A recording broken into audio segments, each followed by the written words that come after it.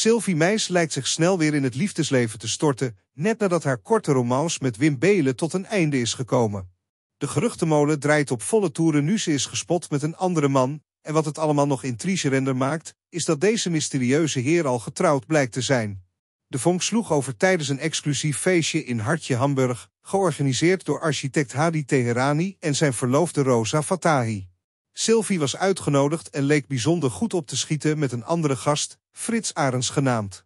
De connectie tussen hen was zo sterk dat ze samen, na afloop van het feest, de nacht tegemoet gingen, gezien op beelden die Weekblad Privé onlangs publiceerde waarin ze samen in dezelfde taxi stappen. Natuurlijk werpt dit direct de prangende vraag op of Sylvie alweer haar weg heeft gevonden naar een nieuw liefdesavontuur.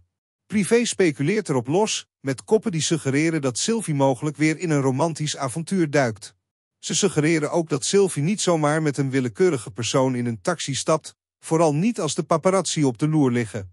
Frits Arends blijkt de medeoprichter te zijn van het bekende label Piratenstyle, met winkels in zowel Hamburg als Berlijn. De interessante twist in dit verhaal is dat ze blijkbaar gedeelde passies hebben als het gaat om mode.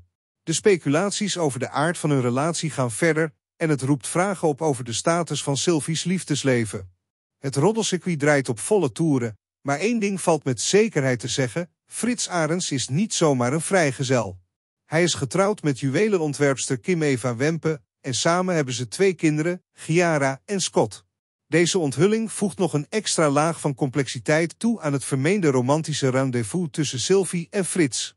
De komende dagen zullen ongetwijfeld meer details naar buiten komen en de fans van Sylvie Meijs zullen vol verwachting uitkijken naar hoe dit liefdesdrama zich verder ontvouwt. Het enige wat zeker lijkt, is dat Sylvie Meijs opnieuw het middelpunt is van speculaties en intriges in de wereld van glitter en glamour.